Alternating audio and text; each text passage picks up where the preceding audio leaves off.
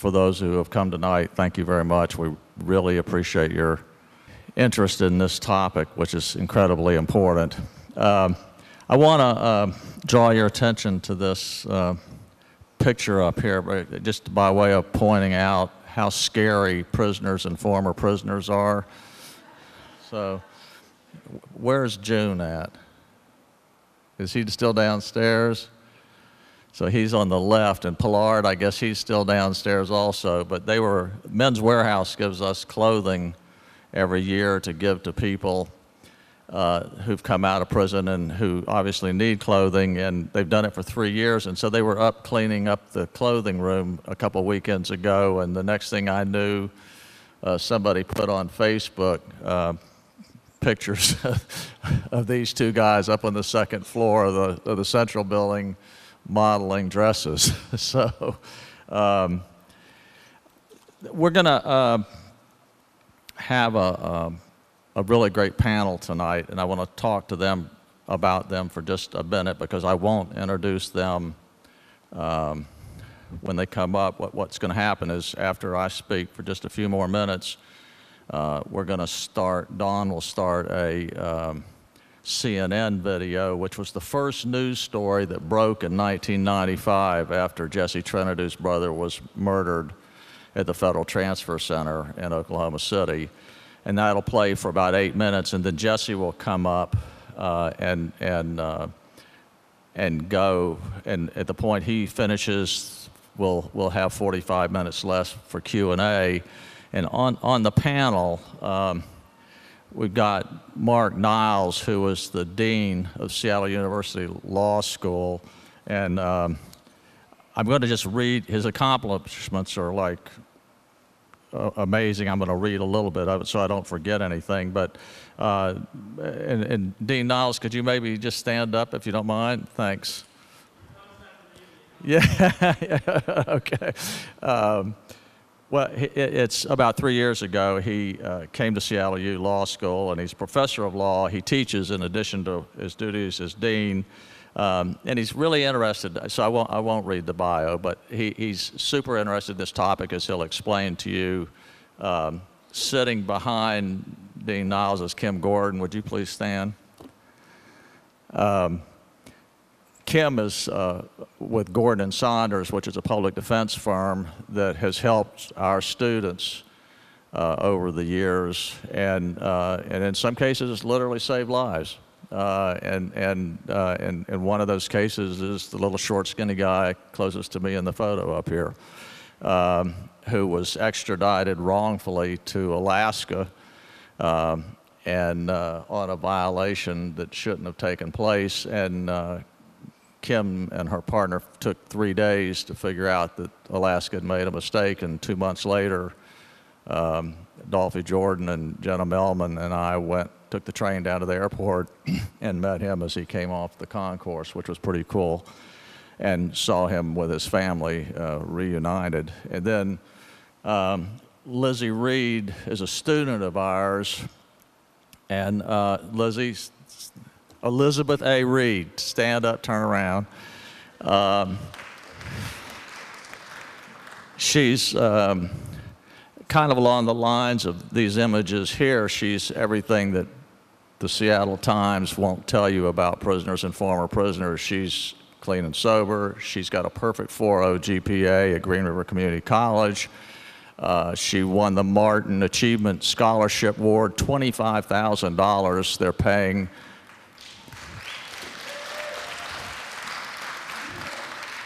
there, here's the little short, skinny guy.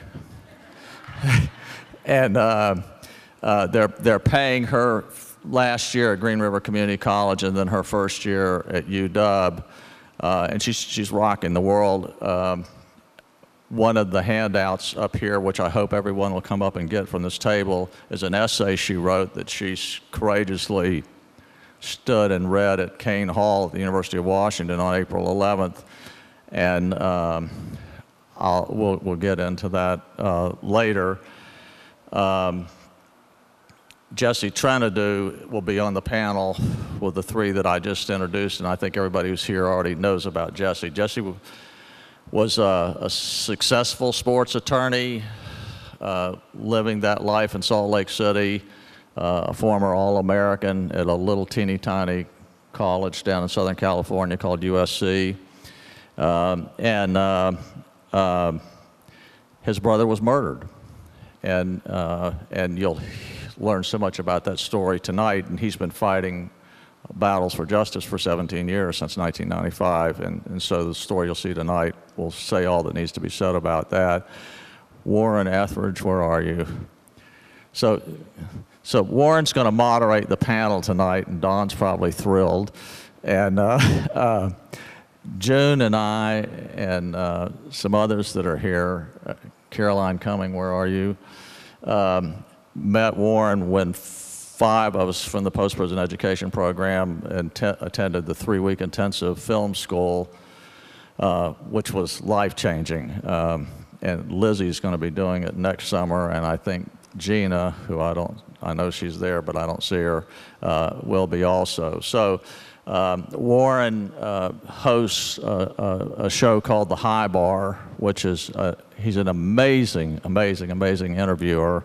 Uh, and he also writes a blog called The Warren Report, and you might Google both of those. They're really incredible, uh, and he's an incredible talent. So um, I want to just tell you, I want to read three things to you, tell you about the handouts, and then let the CNN video start, and I'll get off the stage. But I, I want people to know um, about the post-prison education program and uh, its students uh, and the impact of, of our work. So um, earlier this week, I got an email from the mother of, um, of a former prisoner, and I'm just going to read some of it.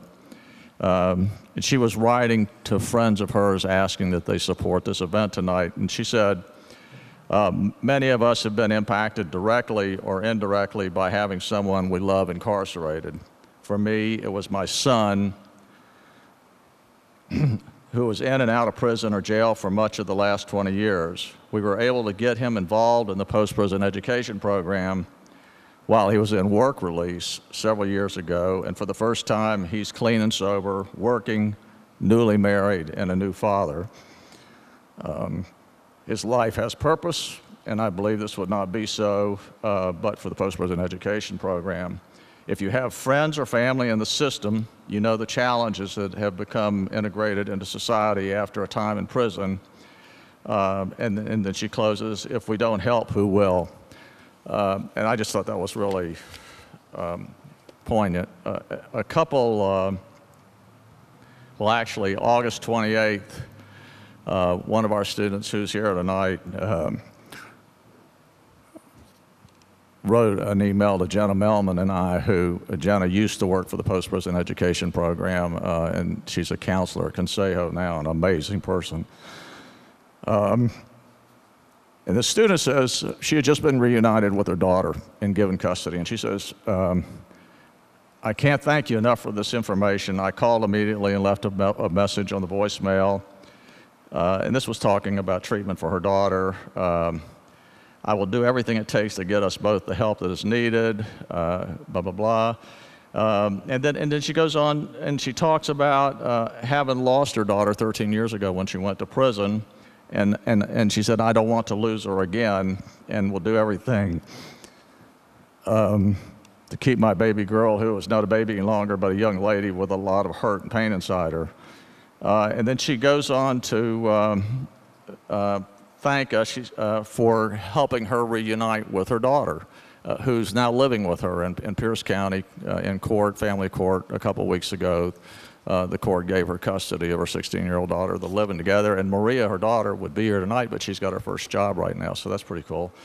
And the, the last one I'm going to read to you was a, a couple of years ago, actually last summer, uh, summer a year ago, we, uh, on May, May 31st, we were advised by DSHS at 618 at night um, that they were going to not uh, fulfill a promised contract. And we should have gotten the check in the contract that day at the latest. That's what they had told us in writing. And so we ended up uh, almost going under. And um, we also ended up going through a lot of analysis about what we were going to, uh, how we were going to continue to operate. And we went through a lot of debate about whether we would continue to write checks or not, whether we would just mentor uh, former prisoners and direct them to other resources that we hopefully could find from time to time, or whether we would go through the the hell really of of of having responsibility for somebody having housing or not on our backs. And uh, uh, we lost uh, uh, a, key employee of ours in, in that debate. And uh, then I went through a period of analysis uh, wondering whether we could be effective if we didn't write checks for tuition, books, housing, and so on and so forth. And, um, and there were some students I knew who could not have made it but for our intervention, but there were some I didn't know whether they could or not. So one student who today is in his fourth year of college, he's down at WSU and about to finish his electrical engineering degree. Um, I wrote to this guy, Chris Jones, and I asked him, Would you have made it if we hadn't written checks? And this is what he said. Um, he says, I have an exam coming up soon, I'll be brief. I think it's very unlikely that I would have made it to the, uh, in the absence of financial support. Financial support was not something I would have received from family or associates either. It simply wasn't there. When you paid my rent soon after I was released or put down security deposit for the Oxford House, those were pivotal times. Uh, in my gr- life, great intentions, in my life, great intentions have been turned into great despair with mind numbing speed. I was used to losing. At any point, I may have been close to giving up and admonishing myself to never give in to flights of fancy, like having a life worth living. Then he said, uh, Maybe I'm lucky compared to you in this respect. I have never once, I'm sorry for this, I have never once had to wonder about the impact you made in my life. Never once. So that's the post prison education program, and I hope you'll support it.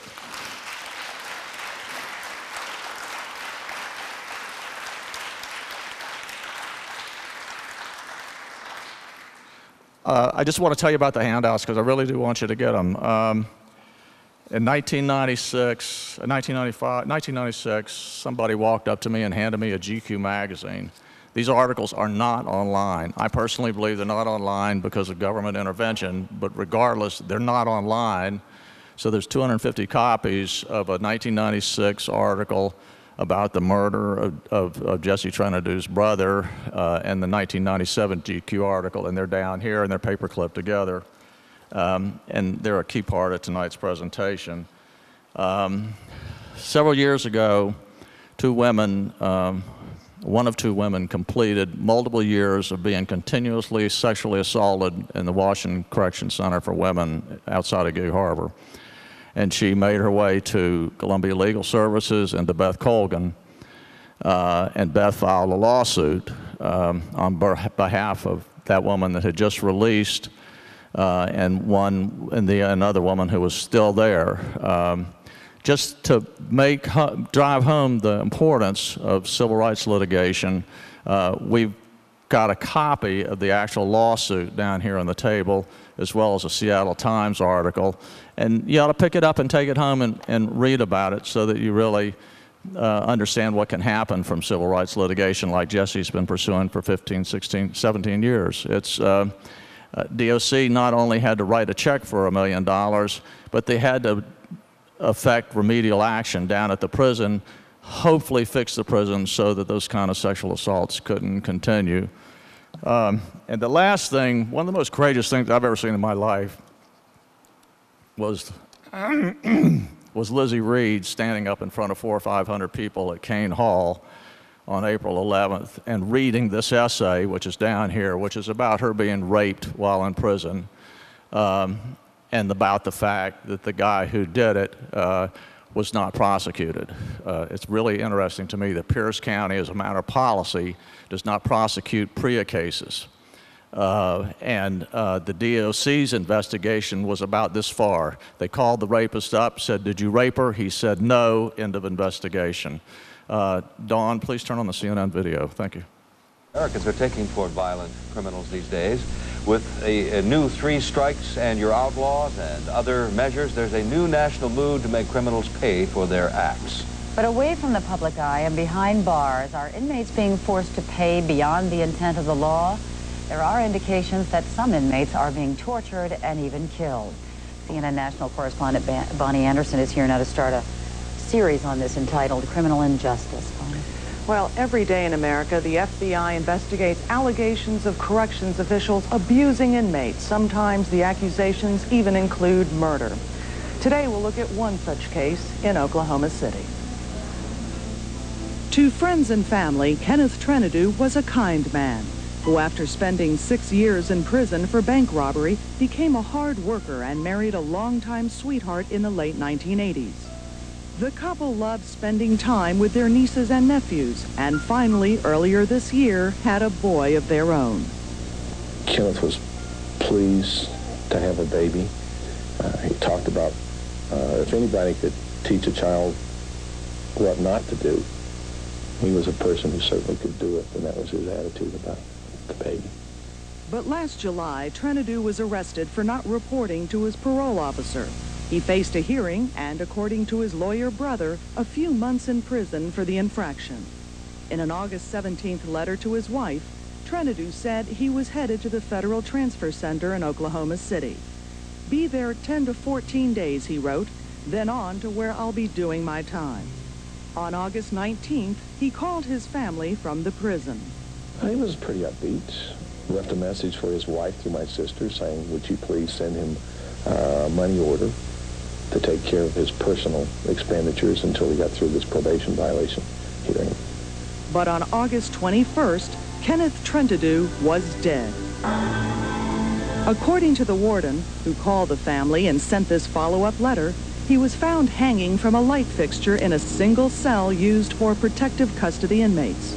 Prison officials believed it was suicide. How can you hang yourself in a security cell when there's not supposed to, supposed to be suicide proof? For Trentadue's brother Jesse, the story did not ring true. I can't understand why he would be asking me to help him get ready for his probation hearing. One day and then kill himself the next.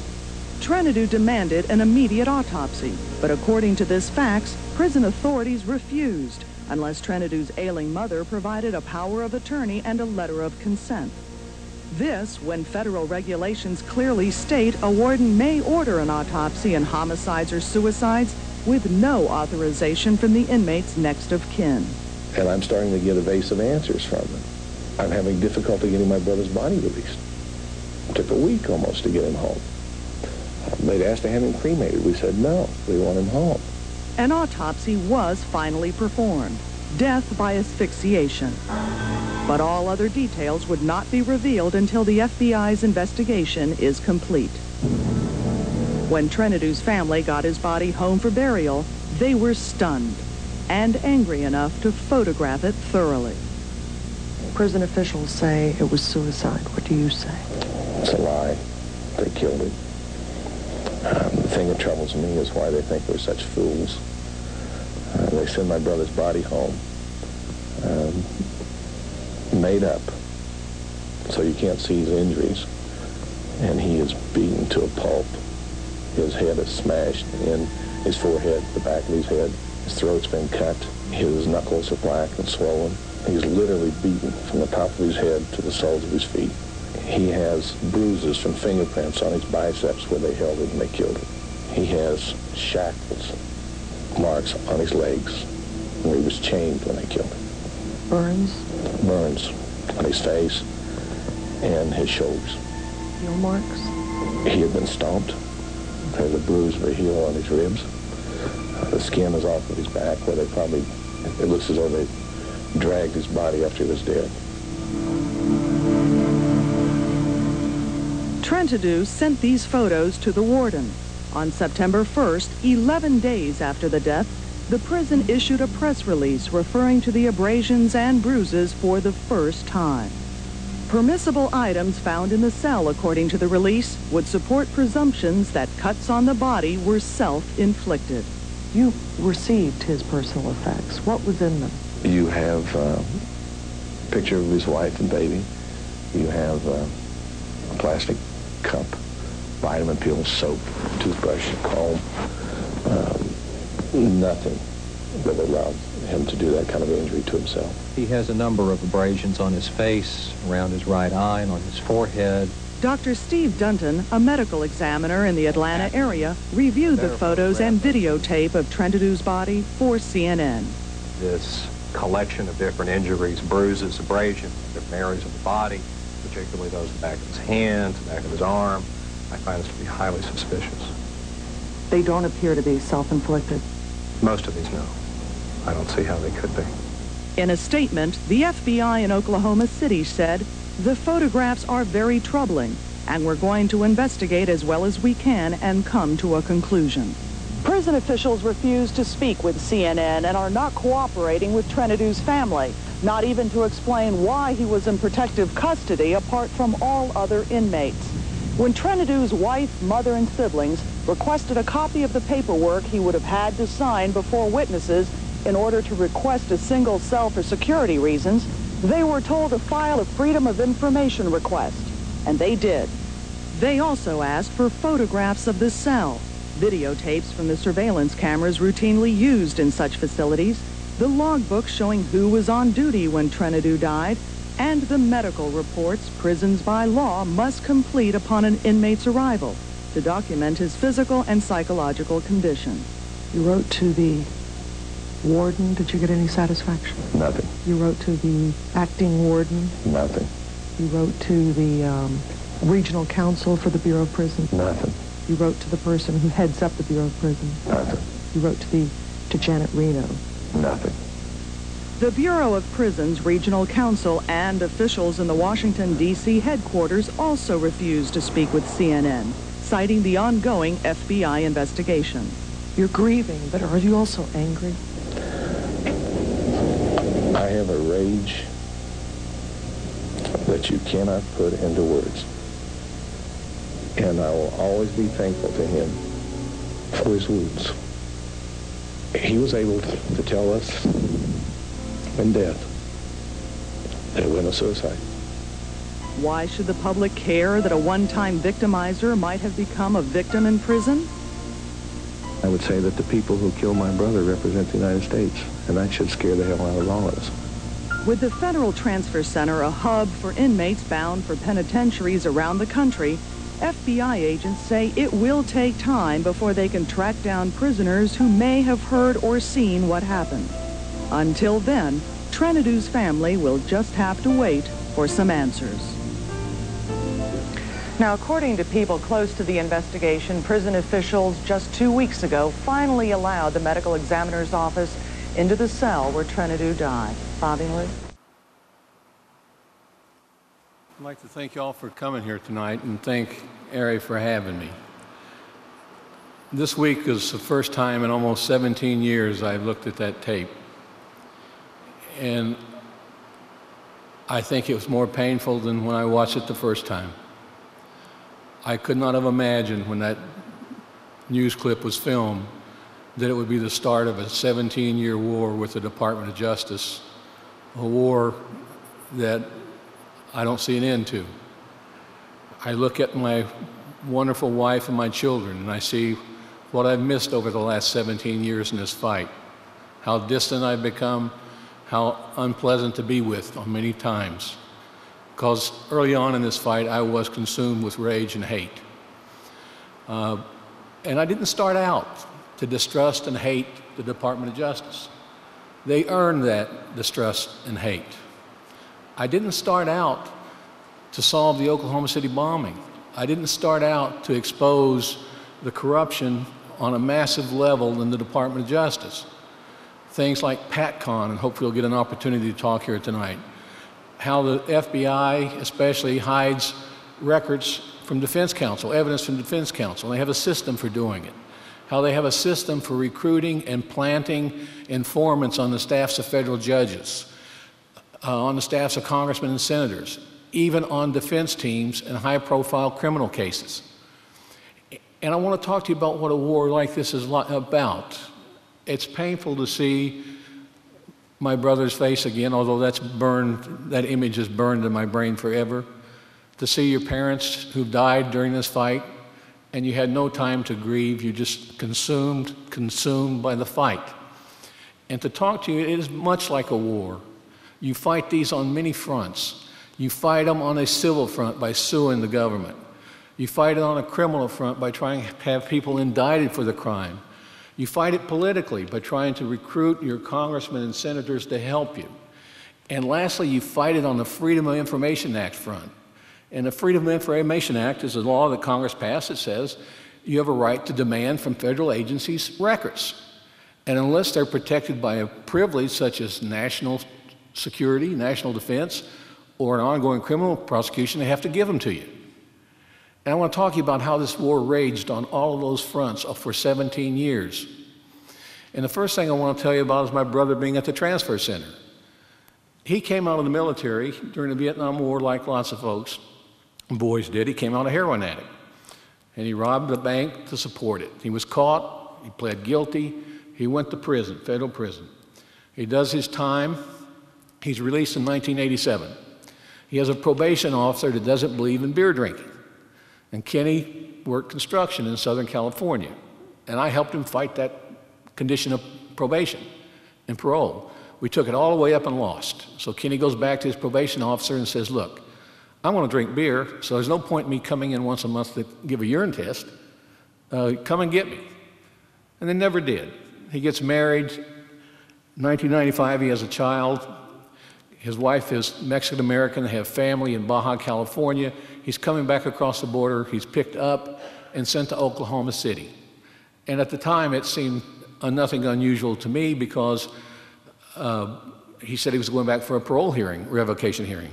But now I know the federal judge that convicted him was in San Diego, his probation officer was in San Diego. The judge has to revoke your probation and parole. There was no purpose to be in, in Oklahoma City, but he was. And he arrived on a Friday night speak with him on Saturday. He supposedly commits suicide on a Monday. And this is what happened in the civil side of that lawsuit. We didn't start out to sue the government. We started out wanting justice for my brother and some modicum of support for my brother's widow and her little boy. The, they made two attempts to have his body cremated. Once they asked us, we said no. Then they go to the medical examiner. He says no, the family has to do that. It's their decision. The logs, everything, that litany of, of material I asked for in a Freedom of Information Act request on CNN, the log books disappeared. Now, the log books are maintained at the institution until they're full, and then they're sent to the National Archives. The log books that was shown people who had access to my brother either disappeared or the pages from the logs disappeared. The crime scene, the Department of Justice does an investigation. The crime scene photographs disappear. There's a surveillance camera videotape. The FBI says it's blank. I receive a call from a very famous videographer named Norman Pearl, who was the videographer for the uh, Rodney King trial. He says, Look, this is strange. I wanted to call you. He said, The FBI brought me a surveillance tape. They brought me a camera and asked me, Was the camera functioning? And I, and I said, They didn't want a report. They wanted an oral report, nothing in writing. He calls them back and says, The tape's erased. They immediately show up at his door. They take back the camera, they take back the tape, and tell him to keep his mouth shut. He calls me and says, I'll come and testify for you. Shortly before the trial, Pearl's dead of a heart attack. My brother's clothing, he was wearing blood-stained clothing at the time. It, it's apparent from the photographs we got later. That, and that disappeared, gone. There's supposed to be a, a psychological reconstruction done of an inmate suicide in the federal system. The Department of Justice requires it. And the purpose is to see was it one, really a suicide? And two, if it was, what could we have done to prevent this or to alleviate this, this problem? The only inmate suicide in the federal system for which a psychological reconstruction was not done, my brother's case. We get into the civil suit and find out that 41 pieces of evidence disappeared out of the FBI's official file. I say, what was gone? They said, well, not only is the evidence gone, But all chain of custody records for that evidence are gone too. What happened to it? We don't know. It's just gone. Had two inmate witnesses. A kid named Nick Arcabasso. He supposedly dies of a drug overdose before the trial. Had a witness named Alden Gillis Baker. Both of these men said they could hear the torture and the beating. Baker is in Lompoc. The Department of Justice recruits three inmates to convince him to change his testimony. We attempt to get a protective order for him. The judge won't grant it. Baker hangs himself, according to the Department of Justice, a month before our trial is to start. Before he hanged himself, he contacted the U.S. Attorney handling the civil suit and told him about the threats and asked him to stop it. And the U.S. Attorney tells him, unless you change your mind, you'll get no help from your testimony, you'll get no help from me, and hung up. That call was recorded. I asked for the tape. The judge won't turn it over. We were able to, and it's unusual to do this, get grand jury testimony of the guards and witnesses who said they saw my brother hanging. And we depose them, and three of them collapse on cross examination and admit they lied to the grand jury. So I think we've got them now. We'll go to the prosecutors, U.S. Attorney, and say, look, you can charge these guys with perjury, and you can get them to, change, to tell the truth what happened. The Department of Justice goes to a federal judge and gets an order prohibiting me from reporting the crimes, reporting the crimes to the U.S. Attorney and to the Senate Judiciary Committee. Couldn't believe it, but they got that order just like that. We have the Inspector General of the Department of Justice do a multi year investigation, supposedly, my brother's murder.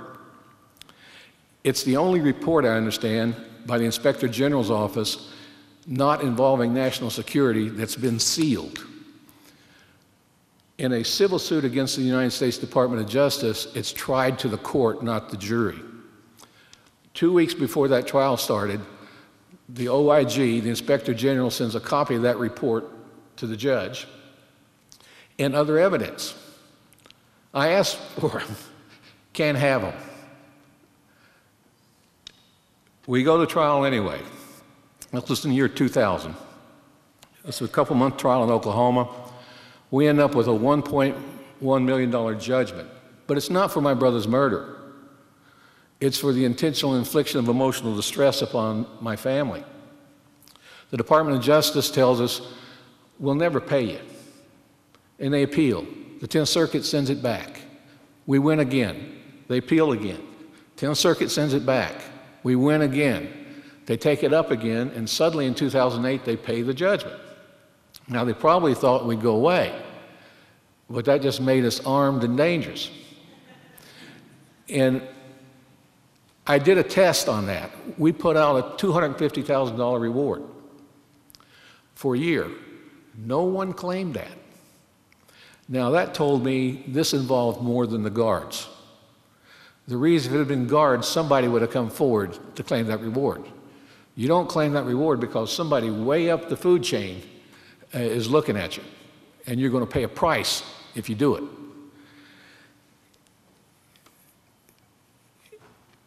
And that's, that ended, and I, and I, it was hard to take to have it end like that.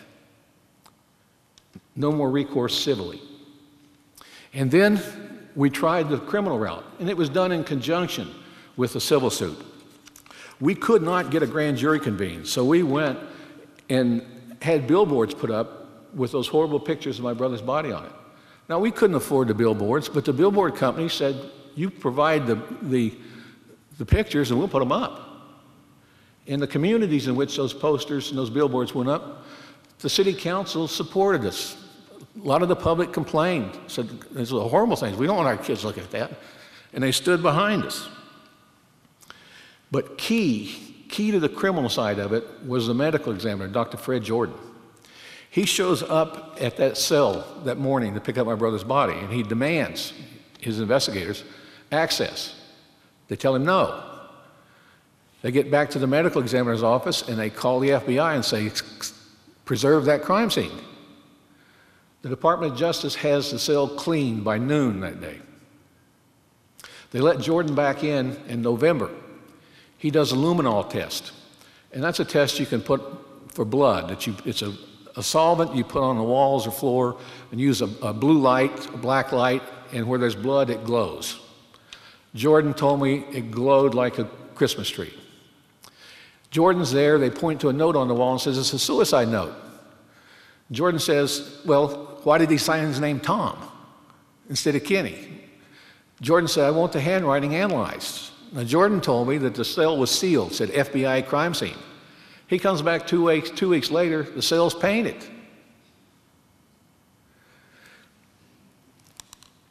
I find out, and again, all of these things I didn't know at the time, that before the grand jury convened, the Deputy Attorney General, who was then Jamie Gorelick, convened a meeting with the criminal side out of Main Justice, who were going to do the grand jury, and the civil lawyers who were going to do the defense of my family's civil suit, which we hadn't filed. And I asked for those records. And the Department of Justice says, work product. Well, work product only applies when you're anticipating a civil suit.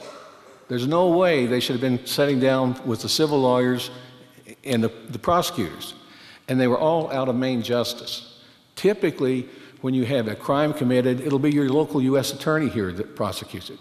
If there's a civil suit filed, it'll be the local U.S. attorney that defends the United States government. In my brother's case, time after time after time, it's Main Justice lawyers.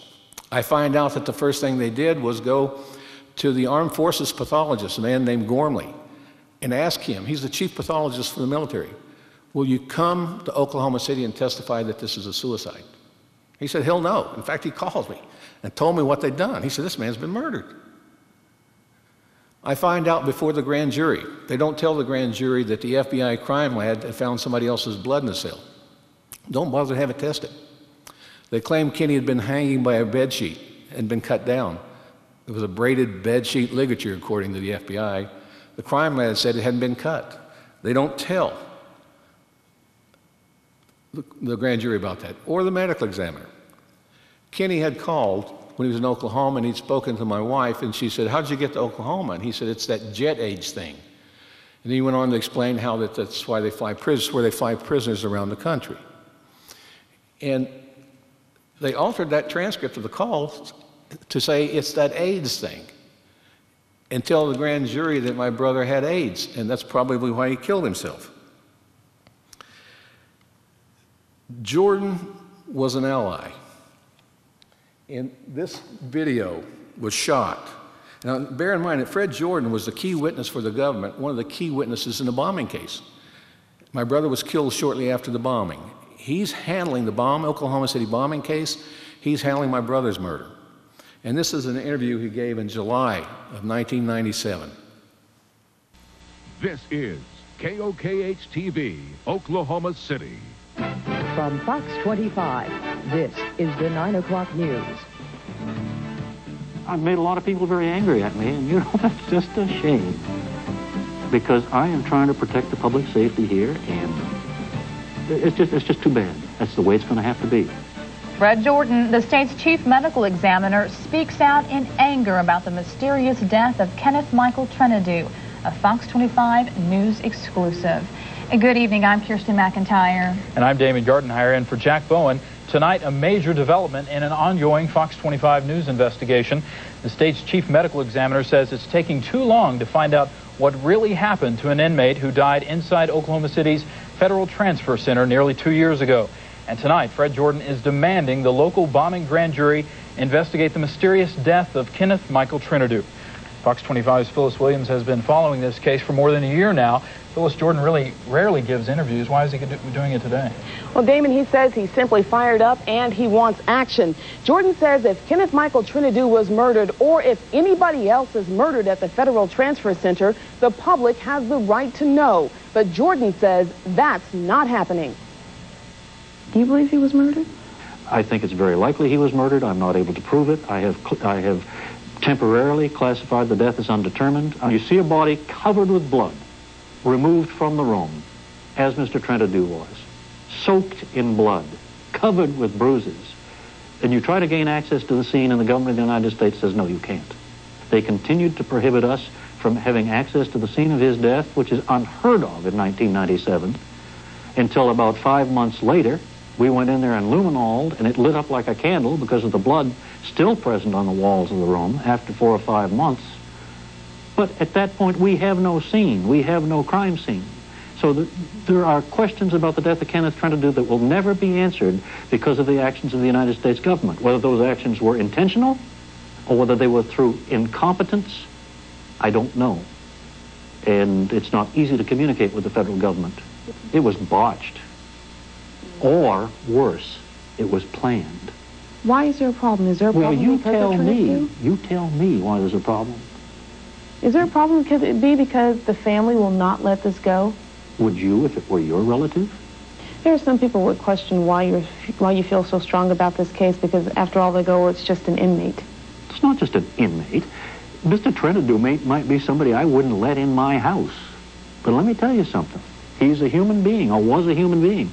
And I'm not saying I like these guys. I'm not saying I wouldn't be terrified if you put me out there with them.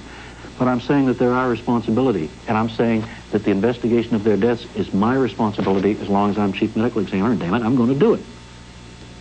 Regardless of what I have to do. Now, the other, the other thing is, do you think that the prison system, uh, do you think that the court system is so accurate and so effective that there is no one in jail that's innocent?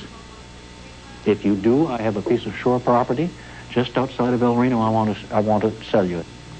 I think that we need an Oklahoma County grand jury made up of Oklahoma County citizens in which the U.S. Attorney for the Western District of Oklahoma, Mr. Ryan, can participate where the people in Washington cannot forbid him to do that, uh, that he can, he can participate in our investigation as an Oklahoman, as somebody concerned about our city. Have you tried contacting Reno?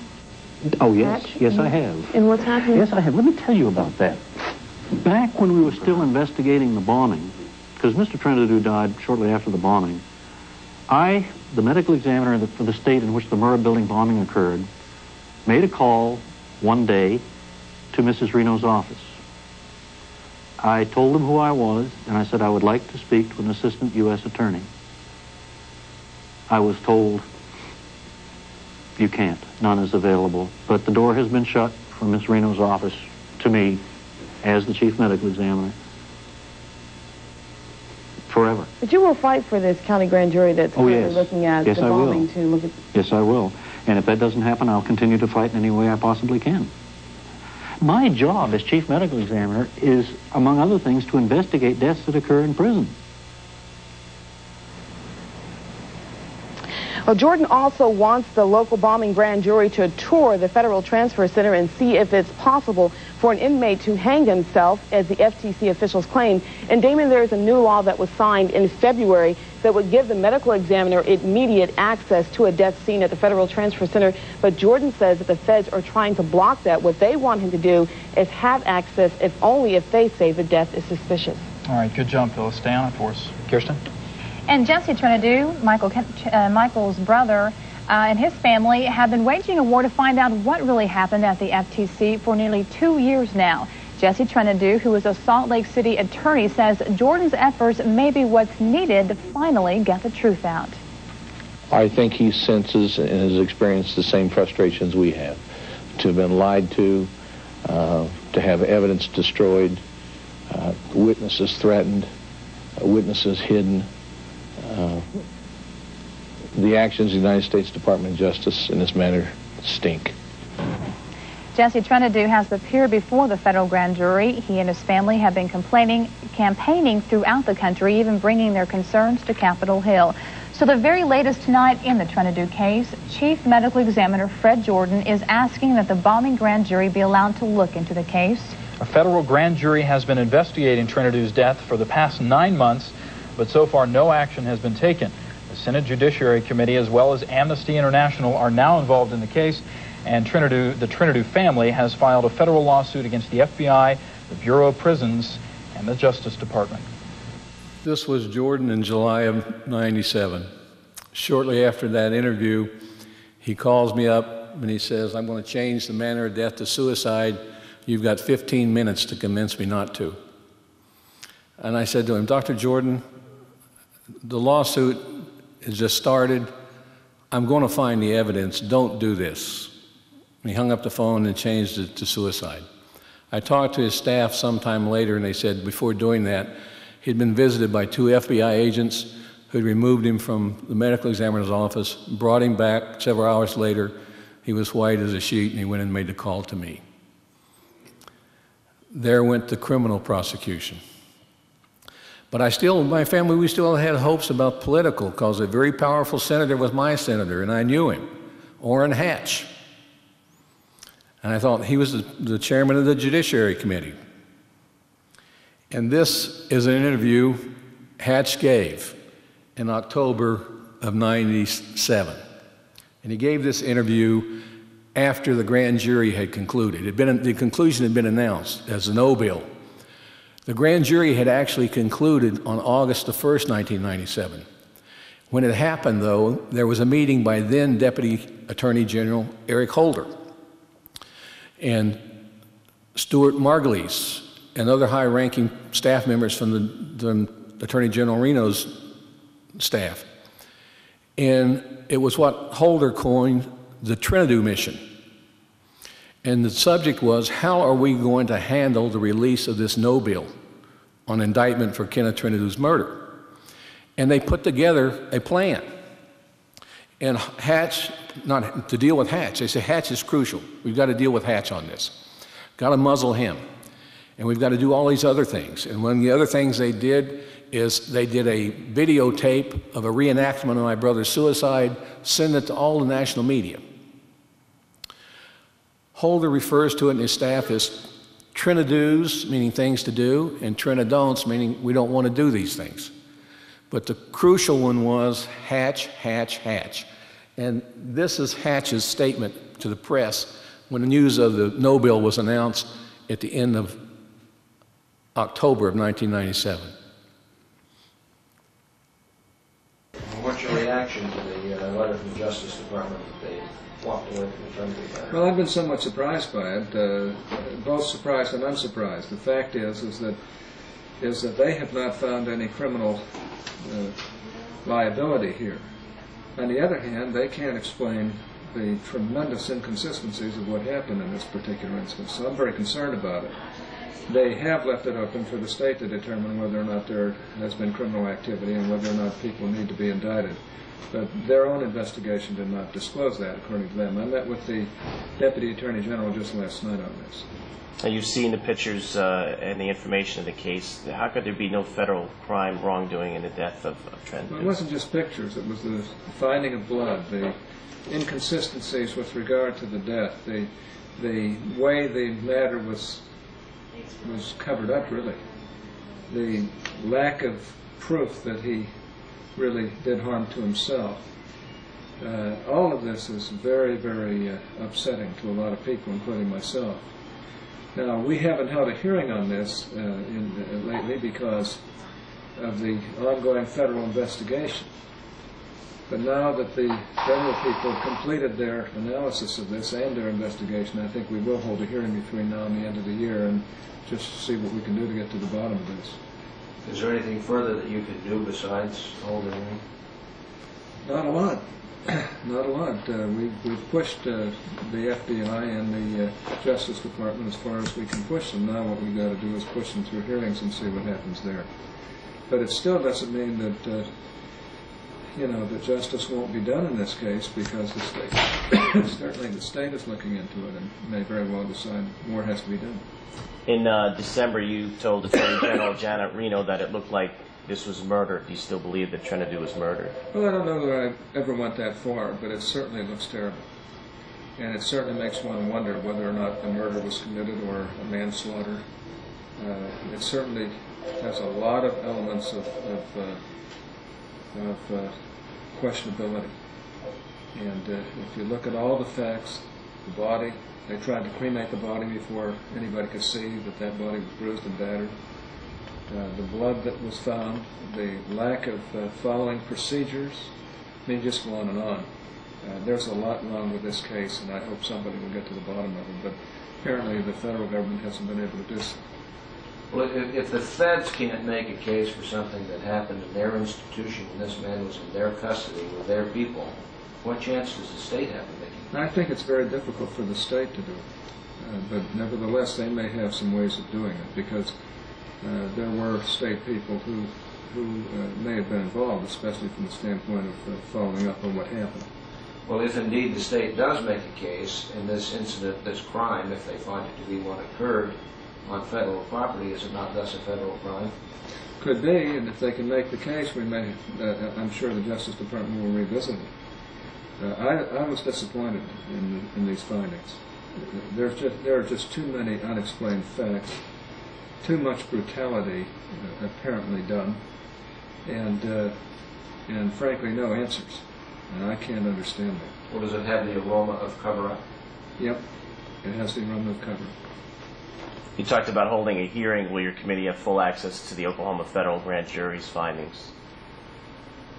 Say that again? You talked about having a hearing um, in this session. Will your committee have full access to the Oklahoma federal grand jury's findings? No, uh, we can't get into grand jury matters. See, that's one of the problems we've had, is that they always hide behind the grand jury. And when I say cover up, I'm not saying necessarily by the Justice Department. I don't think they would cover it up, but I, it, there certainly looks like a cover up from the beginning in this thing. And uh, somebody, uh, somebody other than Trentadue beat himself up, you know, beat Trentadue up. Uh, the injuries that he suffered on his body do not appear to have been self-inflicted. Neither does uh, the actuality of his death. Will the uh, subcommittee investigating the FBI crime lab also look into the handling of evidence in this case? I don't know. We'll have to see. Uh, I think the regular hearing will go into what they did and what they failed to do. So we'll get into that regardless. And it'll probably be a full committee hearing unless, uh, unless we assign it to one of the subcommittees. Do you think what's going on here is a parsing of words? They're not saying a crime wasn't committed, and we just can't prove it? I think that's basically it. They're, they just they just don't have the evidence to show who who did this, if anybody did. And uh, they themselves admit that uh, it's a very very uh, serious set of problems and very strange circumstances, and the facts uh, militate that somebody's responsible here, other than just plain Trentadue. And uh, yet uh, they haven't been able to find out who or what caused this uh, this particular problem. What about as far as the former inmates who have come forward in the case and now say that their lives are being threatened, and one has even been sent back into the federal system because he traveled across lines from Arkansas to Oklahoma to tell his story uh, to the Oklahoma County DA Bob Macy, what he saw the night Trentadue died. Um, he said that he saw an officer cleaning bloody batons the night that Trentadue died. Your comments on that? Don't know much about that. Haven't been into that, but uh, that's serious. That's serious stuff. And uh, like I say, it does look bad. Somebody has not told the truth here, and somebody is, is in my opinion, covering up. And uh, you know, I wish that wasn't the case, and I'd love to have it proven that it wasn't the case. But I think it's a pretty uphill battle to prove that that uh, that uh, nothing happened here other than Trentadue's self-infliction. Uh, that, that doesn't that doesn't look possible to me under the facts that I've seen. So I'm very concerned about it. I just I just uh, it just appears to be a tremendous injustice as we sit here right now. Certainly not the Justice Department. Orrin Hatch promised a hearing. It doesn't take place. He's repeatedly visited by Eric Holder. Disappears off of the political spectrum. And it was about several years after this, I guess a year before, and several years after this, that we launched that FOIA front. And it started in December or January, of December of 1995 or January 1996. And this was back before uh, caller ID on phones. And I get a telephone call in December, and the caller says, I want you to know your brother was murdered by the FBI. It was a case of mistaken identity. It was an interrogation that went bad. And I said, What do you mean? They said, Well, they suspected him of being part of a, a group who are robbing banks to get money to fund attacks on the federal government. And I dismissed that. And then I in June or July of 96, I read an article in the paper about a fellow named Richard Lee Guthrie. It was in the Los Angeles Times, who hanged himself supposedly while in federal custody. The day before he'd promised to give the Los Angeles Times an interview he said would blow the lid off the Oklahoma City bombing. I didn't pay much attention to that either. And then shortly before his death, I get a message from Timothy McVeigh. And McVeigh said, When I saw your brother's photograph and I heard what happened to him, I want you to know that I believe he was killed by the FBI because they thought he was Richard Lee Guthrie.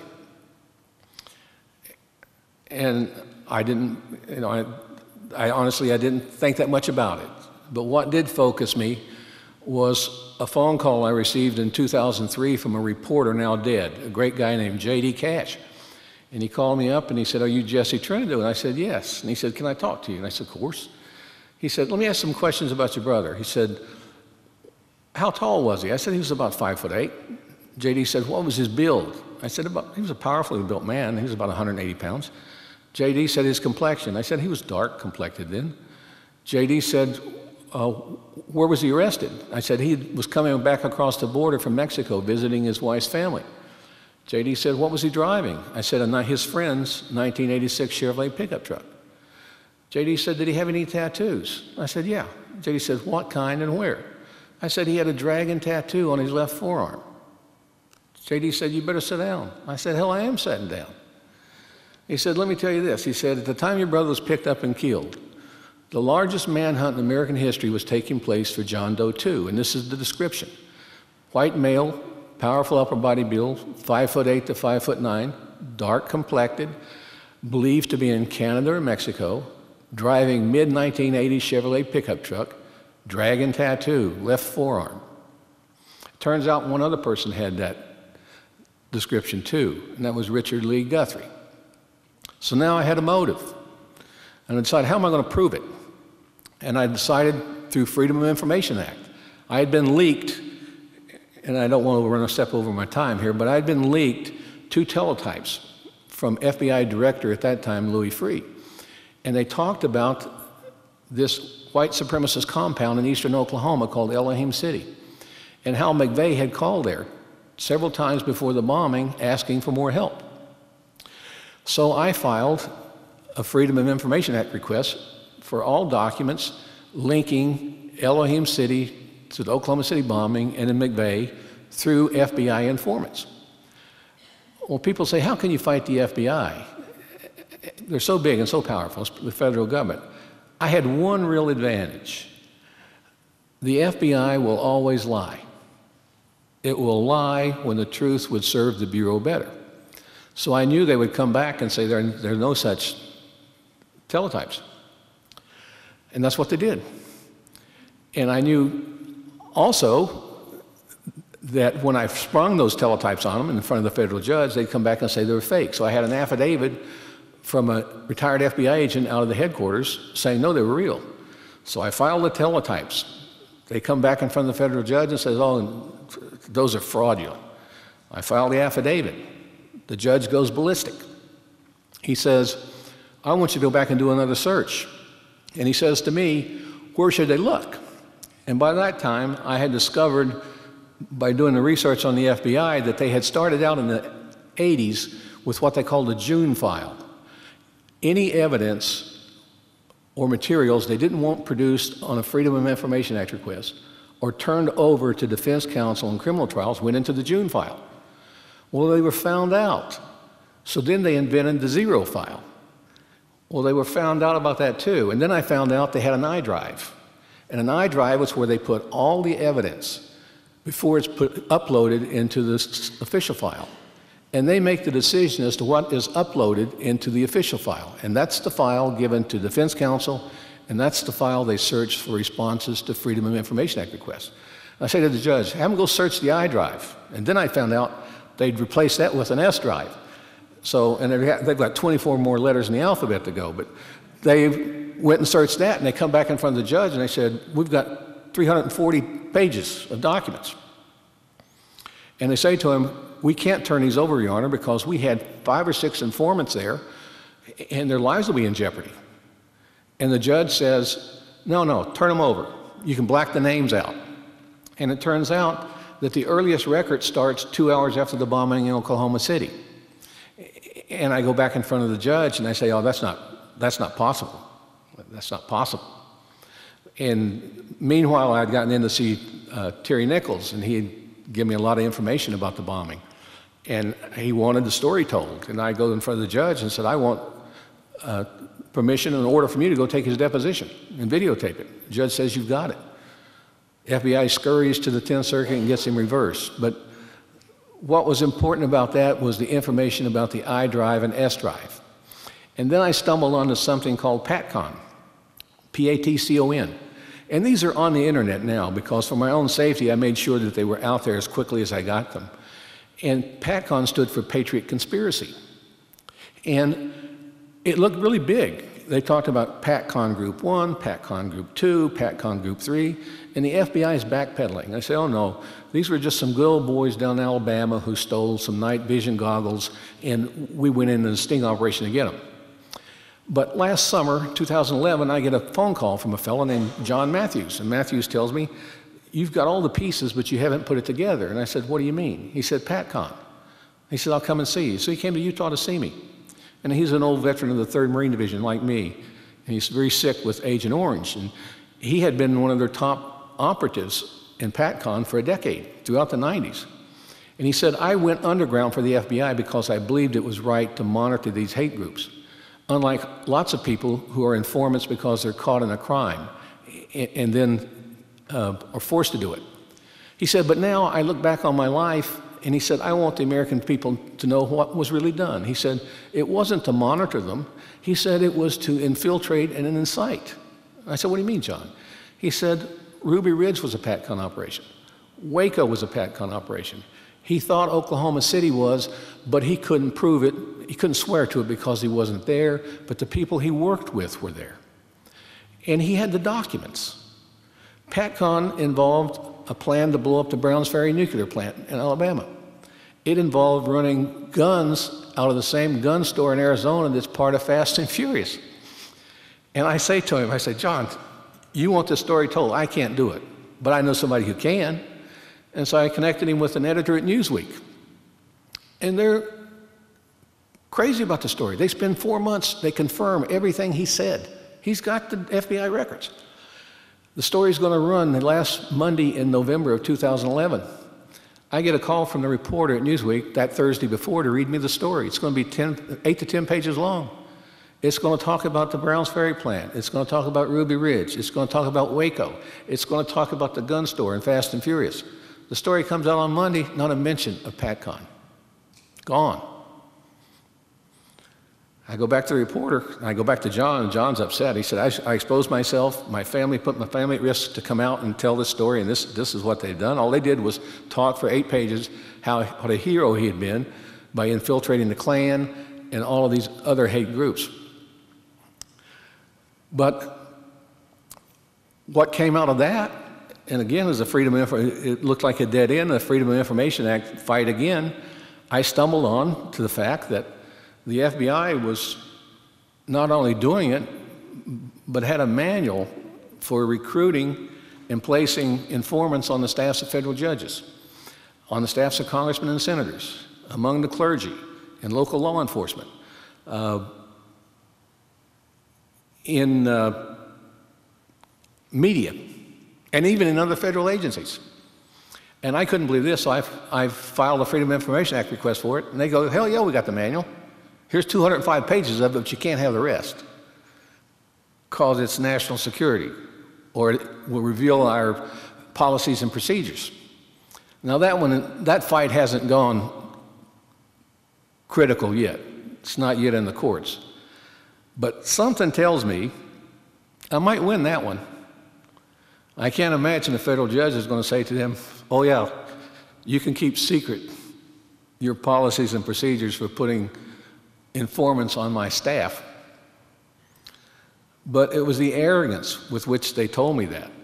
And the arrogance was they said, yeah, here's, what we, here's our manual we use for all of these things, but you can't have it all. Now, my time is about there, and I know a lot of people here are skeptical. the story sounds fanciful. It sounds like somebody who's bitter towards the government, and I am. I'll be the first to admit that. Uh, but it didn't start out that way. Uh, but I would tell you this there's a document, usually a contemporaneous FBI document, to support, and I've got, and I put them out there, that support everything almost I told you here today.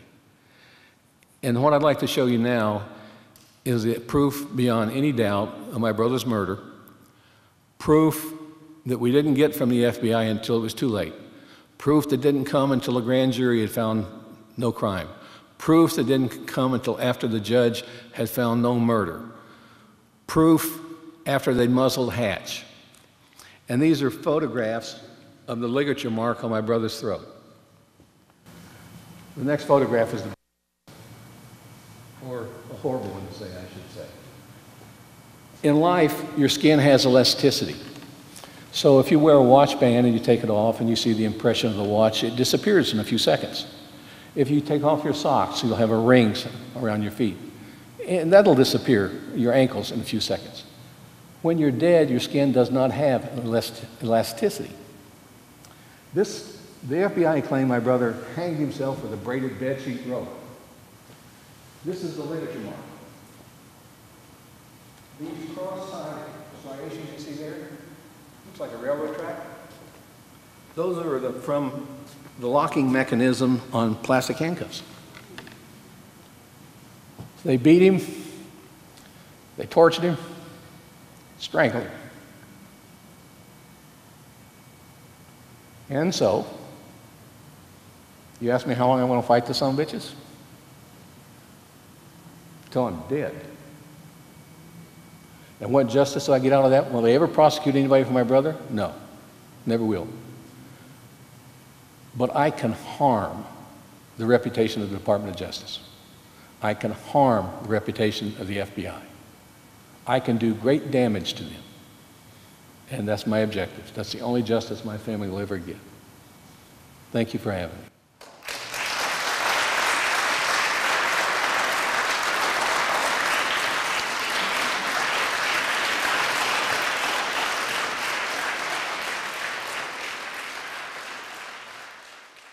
Ari did introduce our panel earlier, but he has also asked that each uh, guest on the panel tell us why they're here tonight uh, briefly.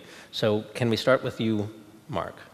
Well, I don't want to. Uh, I'm just a law professor and a dean. I think you're going to have a lot more interesting reasons than mine. But I'll tell you my reasons. Uh, I work at a law school uh, that started out as a law school in Tacoma that was designed to be a place uh, to educate people to be lawyers who weren't the traditional sort of common examples of people ended up being lawyers, people straight out of prestigious colleges or whatever it was, but really was dedicated to providing an alternate uh, avenue uh, to have people get a legal education. And part of the reason to do that is to have people from different backgrounds, different perspectives, uh, enter into the legal system so that they can address some of the inherent injustice in the system in different ways than sort of your regular people might. Uh, and that was one thing when I heard about the law school that really um, inspired me. And in terms of educating uh, people in a, post, in a post-conviction or a post-incarceration setting. Uh, the law school down at UPS and now up at Seattle U has educated scores of former inmates, scores of people with uh, criminal records, uh, and there's nothing we're more proud of as an institution than our ability to take folks who have been in that kind of position uh, and help them to get to a place where they can be productive uh, and make a difference in the same justice system that had victimized them in the ways that it had. So for me to be able to be involved in a school that has done that and continues to do that makes me very proud and makes me care very much about this stuff. Uh, now that our law school is at Seattle U, Seattle U is a Jesuit school, as many of you know. Uh, the Jesuit schools are committed to uh, achieving social justice. And notwithstanding the kind of things you hear about Christianity at uh, Republican national conventions, uh, if you actually read uh, what Jesus talked about, um, you'll hear a lot of things that relate to the very sort of things that we're talking about today and the very sort of things that these organizations are working towards. When asked uh, how you can best, how someone could best make sure that they achieved eternal life, Jesus said, uh, if you feed the poor, if you uh, heal the sick, and if you visit the prisoners. Uh, Jesus Christ didn't say very many words, or there aren't very many words in the Bible that he talks about, but one of them is that one of the best ways to achieve salvation is to visit prisoners and to try to help them and to work for them. And so, as a member of a Jesuit institution, I'm very proud to have that tradition, that religious tradition, inform the kind of social justice work that we do.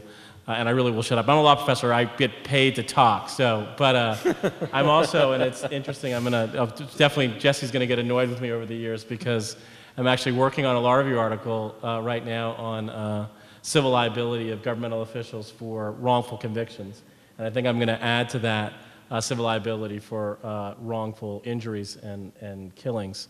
Uh, and so I got a uh, an additional chapter to my paper. So that's one reason for me to be here. Again, I'm an academic, that's the kind of things we think about. But I'm going to shut up and let folks that are much more integrally involved in this sort of work talk. But I couldn't be more proud to be here, and I, couldn't, I can't think of a better thing for someone involved in social justice work to be doing. So thank you.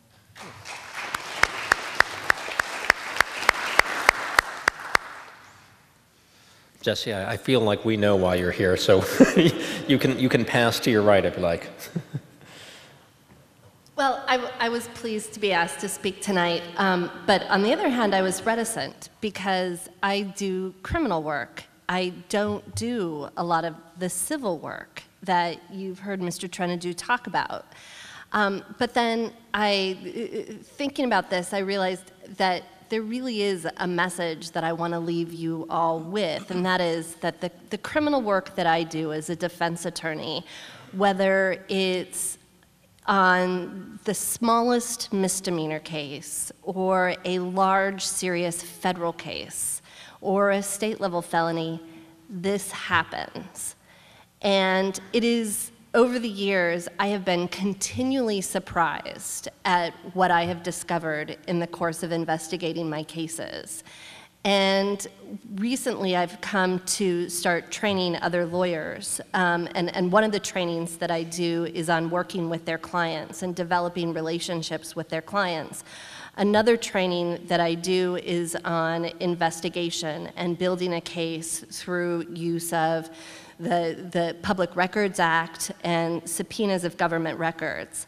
And what I tell the, the lawyers that I train in this process is if your client's telling you that they suspect something, believe them. That's the first step, is to believe that it's possible.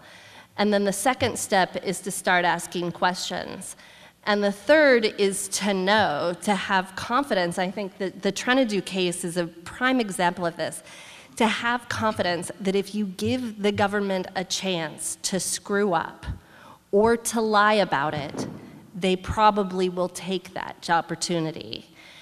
And I, I, am continually amazed at the ways that those truths come out in either small or big ways in my criminal case.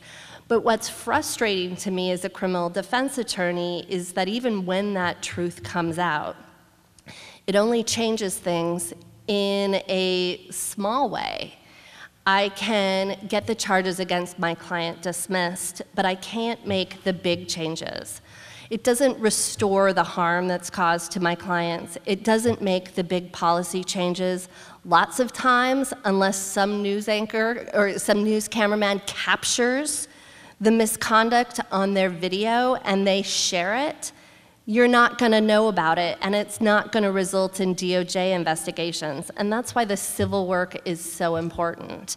And there really is a dearth of attorneys out there who will take these cases. And that's partly because, as the Trentadue case is another example, it is so hard and there is so much work that goes into it. But it is such an important part of us being an informed citizenry, of us being a safe people and us making sure that our government is really working for us.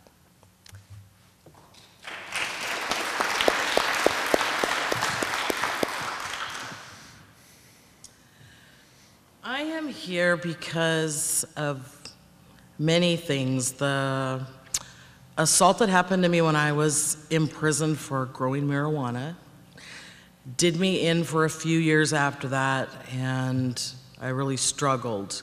Um, when I finally met Mr. Ari Cohn in the post-prison education program, everything kind of changed for me because I saw somebody just giving their all, fighting the types of injustices that I'd always accepted as that's how it's going to be. Um, when I got to know him even more, it was, it just changed me. I went to school, I started learning, and somewhere along the line, I decided I'm going to be one of those that go to law school that will take these kind of cases. I don't want to be known as, oh, that's the girl that got raped by a guard while she was in custody. I want to be known as the girl who spoke out and went on to change that for those that came after her. So that's why I'm here.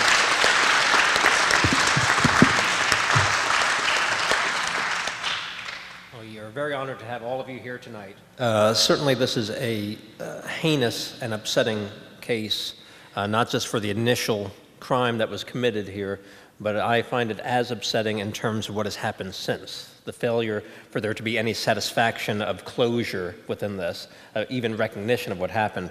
Um, Jesse, I have to ask you, and, and you, you touched upon it right at the end, is there anything that could happen at this point that would constitute justice in your mind as we know it?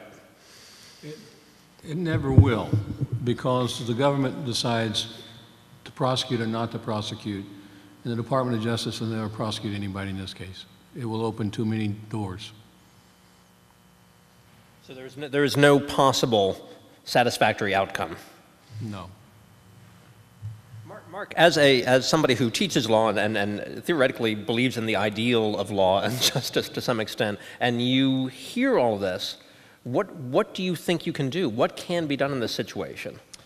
Oh, God, I don't know. I don't know what can be done in this particular case. I think Jesse knows better than anybody else the limitations of getting some relief here and has been working on it for uh, much of his life. Uh, I think what I've worked on as a legal scholar is trying to address the, the sort of unfounded and really ridiculous um, immunities that apply to um, law enforcement officials in civil cases. I, unlike, I'm actually uh, was a civil attorney and do my work in the civil area, and it is true that it's almost impossible to sue government officials for anything from uh, a, a tort like setting a fire in the wrong place that burns down your house, all the way up to these horrible, heinous crimes.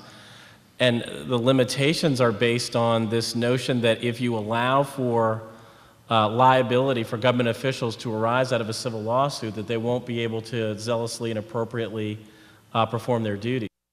Uh, that they will be hindered and they will be feel restricted to perform those duties based on the fear of, oh, if I do this, I might get sued.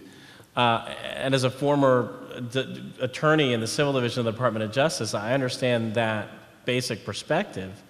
But the reality is, in cases like this and a million other cases every year that get dismissed early, uh, there's no incentive like that. The incentive is very much the other way. What you want to have government officials think is, I better not torture this guy because if I do, I might actually be subject to some sort of civil liability. And that's the way it's going to change. The way our justice system works is that people are scared of the consequences of the justice system. If we create a structure where there are no consequences for governmental officials, unless they happen to be videotaped by somebody walking down the street and somebody actually sees what they're doing or some other process, then they're going to act with impunity, and that's when government becomes abusive. So the way to change it is to change this, these structures that apply, these immunities that apply, and allow government officials to be subject to lawsuits like Jesse's and really hundreds of thousands of others throughout the country every year uh, that are dismissed at an early stage because of these ridiculous immunities. And that's what I've been writing about for 10 years and have new inspiration to write about again tonight. And are you suggesting that because of things like supremacy clause immunity and, and the like, that uh, there really are no possible consequences for people in those agencies? It's very limited. I mean, I, certainly there are examples all the time of civil judgments uh, against government officials. Jesse received one, that's one example. They're very rare. The problem is they're way too rare. Uh, they require way too much sort of uh, fortuitous information being provided. If you look at any of these cases, it's always based on somebody was a whistleblower or somebody had saw this and through the normal structure of the process it almost never happens that you get this liability and the liability is so rare it creates no disincentive to do the work Someone might know that one in a million cases might result in liability, but if that's the odds, no one's ever going to stop doing the things that they shouldn't be doing based on that fear. And, you know, we like to think that people do things based on good motives and, and Uh, and certainly people do. There are great people working in government uh, offices, great police, great people all over the country. That's not the point. The point is our justice system is based on the notion that there are lots of people out there that need negative incentives to prevent them from doing problematic things. And if you don't have any, if you have a case like this where everybody involved has received no real consequences for their actions, then there's no disincentive uh, to do those things again. Jesse, the, the case with your brother spans multiple administrations at, at this point. Is corruption a bipartisan or nonpartisan issue? I thought about that, and I think I've concluded that it's a part, it's due to the fact that the United States is a three-party system. You have Democrats, you have Republicans, you have the third party, which is the permanent party. And the permanent party are the higher ups in the agencies like the FBI and the ATF that don't change when the administrations change. They're there for decades. They set the policies, they run those agencies, not the president. Kim, Kim, you mentioned that if you give the government time, though, they will screw up or lie. uh, how do we take advantage of their, their tendency to do that? Well, you have to have the proof of the lie first. Right. And you set them up. But otherwise, there's a tendency of, of courts to believe the government. Uh, unless you've got the proof that they're lying, nine times out of ten, the, the hard proof, the court is going to side with the government. Kim, do, do, I, I, mean, I have been privy to some of the work you've done uh, on behalf of clients, and I'm really impressed with your dedication to them. Uh, do you consider yourself unusual in, in that sort of stick-to-itiveness and, and loyalty? To, to my family? No, I was asking Kim. Oh, excuse Kim, me. Kim. Uh, I don't know. It's, I can tell you it's the thing that gets me up in the morning. Mm -hmm. um, it, it's, it, and I, it, it, ties in with something that I wanted to add to what the, the dean was saying about one of the answers. And what, what he had said is we need to change, we need to create an opportunity for us to hold them accountable, to reduce some of the immunity, to give them the negative incentives. But the other side of this is the same thing that motivates me. We need to recognize the humanity in the people that are brought into the criminal justice system. And again, whether it is someone who has just been stopped but isn't even arrested, and who is propositioned by a police officer who later lies about it. This is a case that's in my office. Whether it's someone who was watching an officer assault a drunk man who was leaving a bar at night and had the audacity to take out his camera and take a picture. And he wound up beaten in jail. This is a case that has come through my office. Or whether it is cover ups in a federal case. Um, it all comes back to people believing that the people that they come into contact with don't matter they can get away with it. They are their property.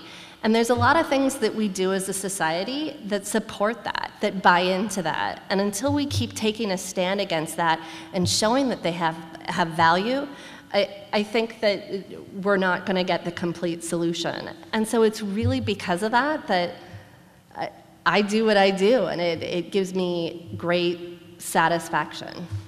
And I think that's why I, I've been able to get some of the results that I have.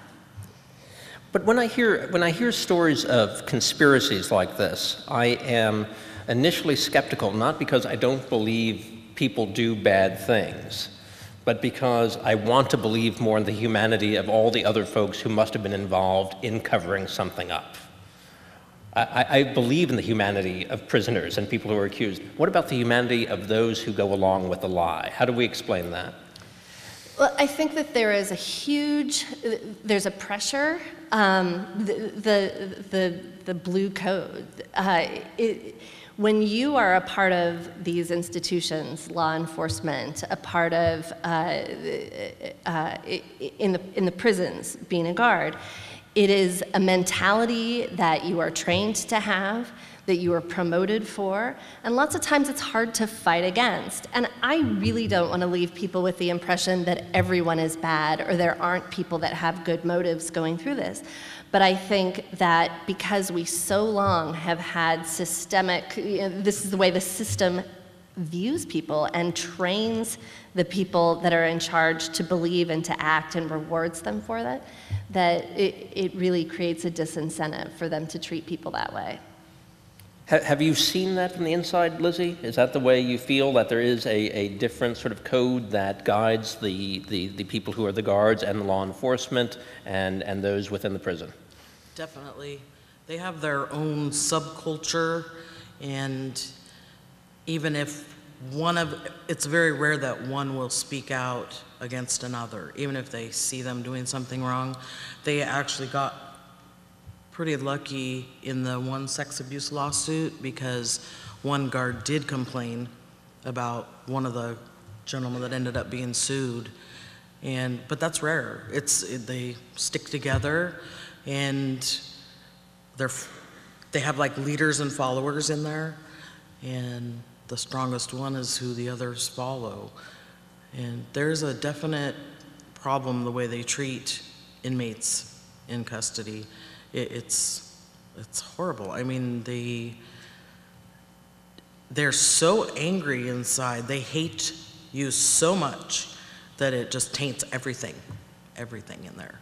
It, it takes a lot to get through it and come out and not feel that small by the time. It's not like we don't know we messed up. We know. You know, we know. We sit there and think about it all day long. So we don't need to be beaten down, and it, nobody can really be harder on me than myself, but I don't need any additional beating down when I'm already that low. They should be trying to help support any positive changes you're trying to seek out, and they just laugh at you. What do you need school for? You're just going to get out and do the same thing. You know, we'll see you back here. It's just, it's constant. But it's a, it's a subculture, same as with the police on the streets. What, you know, there have been a lot of psychological studies done in terms of how power corrupts quickly in terms of, you know, like right. making one group the, the, the, prisoners and the other group the guards. Uh, what I hope you could shed some light on is when one group takes that power role, what does it do to your personal mindset as somebody in custody? How does that impact you? You already said that you felt guilty and were right. self-flagellating, but when you get that constantly from another source, what does it do to you? That's re it's really hard because you feel like they're trying to break you and wear you down. And usually by the time you get to prison, you're already broken. You're already worn down. So they're just heaping more misery on you. Um, you feel very powerless. And I had said before, I thought I, my life, I had, you know, a difficult, difficult life with abuses and childhood situations in our family. So I'd always thought I knew what it felt like to not be in control. And it wasn't until I went to prison and went through that whole experience and then the sexual assault with the guard that that's when it I truly knew what true powerlessness was was at that point. And it, it's a difficult it's really hard to come back up from that to get yourself back together after that kind of an experience especially for an extended length of time. Jesse, you know, you, you a lawyer, and, and your brother had been uh, obviously uh, arrested before this happened. Did your perspective on the prison population change after this event?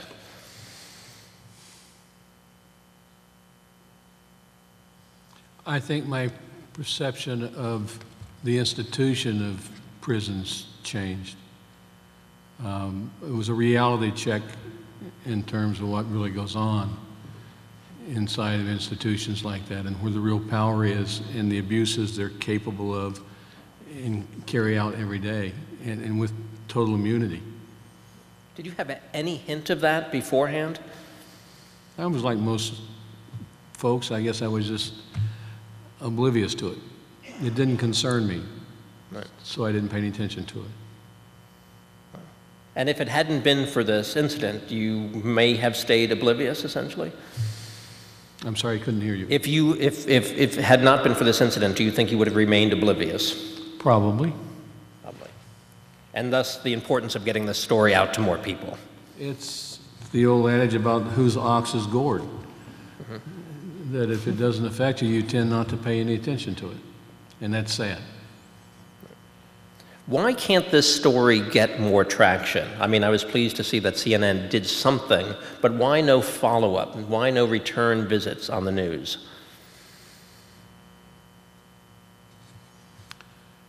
I think it's best stated when I started these Freedom of Information Act cases and I started to get these records showing that the United States government had a series of informants at this place called Elohim City and had prior knowledge of the plan to blow up the Murrah building. And it's not just me making it up, it's the actual records they produced. And I'm contacted by the media, and, and they were surprised that I gave them copies of it. And I said to them, and even the BBC did too, and I said, here, yes, take them. Are you going to do this story? And what I essentially heard was, this story is so ugly, we want to be second. And the only person, the only group, entity that did the film or told the story was the BBC, who came and spent a month filming in Oklahoma City, went back and ran it prime time for an hour in Great Britain, and I understand it ran in Europe and most of the world. The only other place, the only place I understand that it has not aired, I talked to the producer, was the United States. So here they, they make a, a film with all this evidence, and it won't even be ru- aired on the American television network. Uh, I'm going to open it up to you guys for questions as well. There is a microphone here that we can, is that live and ready to go?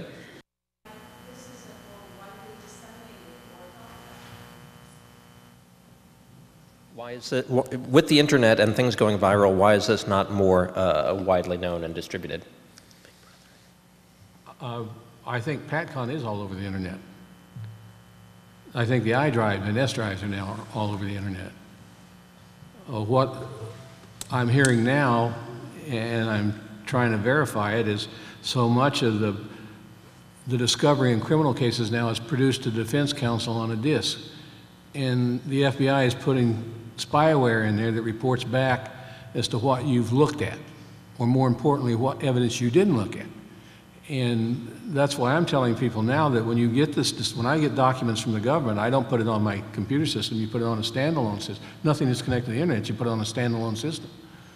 But all these stories are getting out there.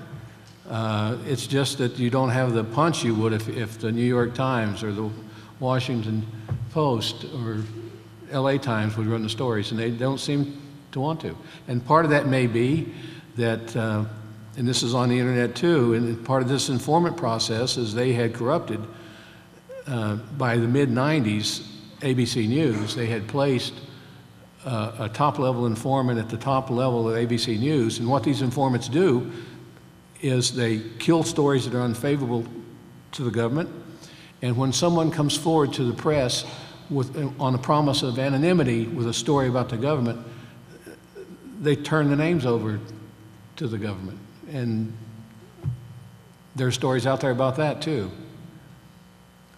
I would suggest you also have to know what you're looking for. If it were not for Ari and others, I would not know about the story and I wouldn't know to look for some of these things and I wouldn't have known about PatCon until I was sent information just a few days ago about it. So you can be, you can think you're knowledgeable and sort of uh, well-read and up on the news and still not have a clue what's going on out there. Are you want, do you want to wrap up? Yeah, this town hall will shoot me if we don't. Oh, town hall will shoot Ari if we don't wrap up. So I guess we will, we will do so. Uh, like, can I say one last Yes, thing? please. You know, I, I, I started off by asking everybody why they were here tonight, and I, I wanted to say why I was here tonight for, for two reasons. Number one is because Ari asked me, and anything asked me, uh, I would probably do. Uh, almost anything. I know you too well. Uh, but the second reason why is because I'm a big believer in stories and the power of stories. And this is an amazing story, and it's a true story. But the only way true stories work, the only way stories really, really work is when they're heard by more people. And the opportunity tonight to hear from Jesse and to hear from the great people on this panel, Mark and Kim and Lizzie, means everything to me because once we start telling the stories and you start listening to them, can we really take away the morals and do something about them? So a round of applause for everybody on the panel.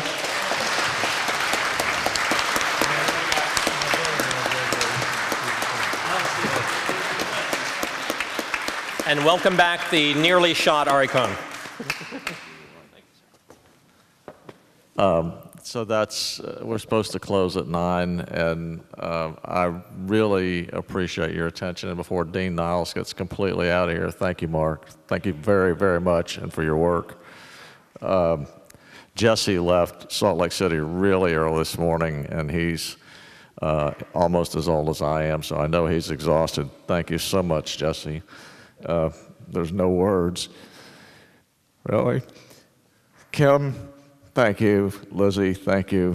Um, I'll, t- I'll just tell you one thing. Uh, there's a, a book uh, that Charles Epp, professor at the University of Kansas, wrote. It's called Making Rights Real.